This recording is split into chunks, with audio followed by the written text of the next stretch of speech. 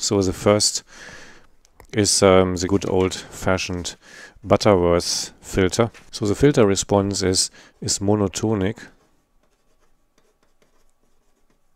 So no peaks and bumps or something like this. It has only only poles. The filter no zeros. And um, it's somehow like the standard analog filter.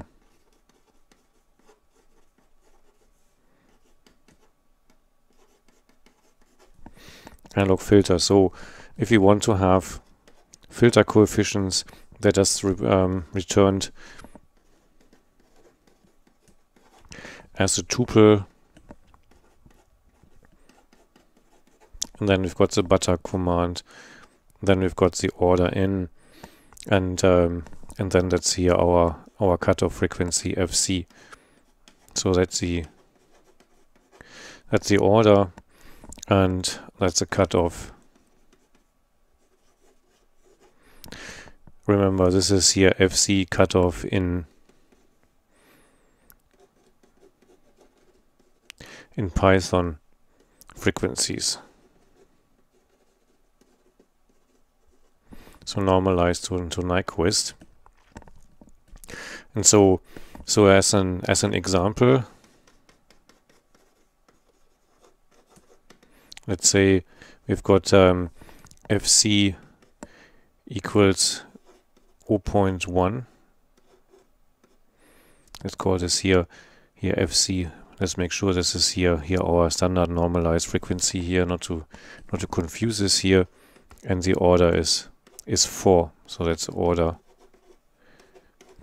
so so this means this means these, are um, two second order IIR filters. So remember we always want to have um, so there's not much point in um, in typing this all in. And so the so here's our our f0 that's in proper proper normalized frequencies. No normalized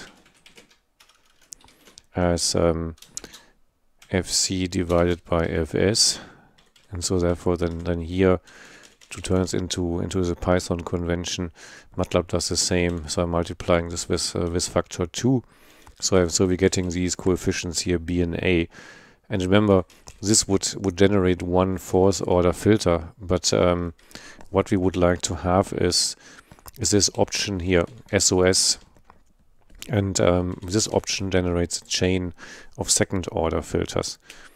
And so therefore if I if I go back back here, so therefore if if we add if we add here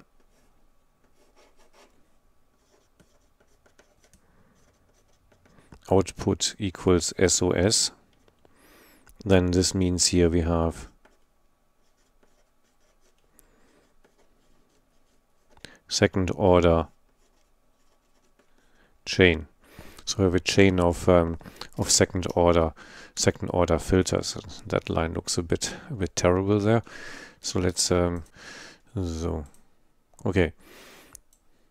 So here we see this now. So that's um, fourth order. So we have a cutoff um, of 0.1 and then this, we've got this nice monotonic drop and we see already that also the bilinear transform worked here in the background.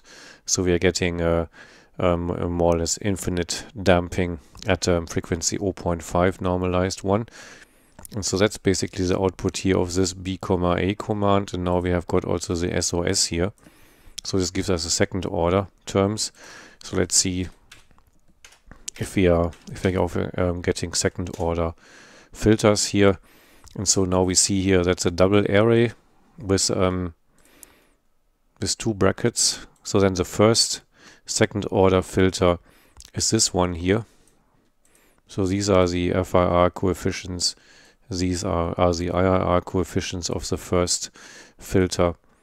Then the second filter here is interesting um, FIR filters of 1 to 1 and then the um, then the IIR coefficients of the second filter are these ones here.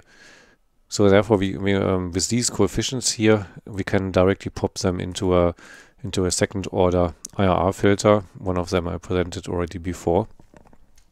And um, with that, we have the Butterworth filter.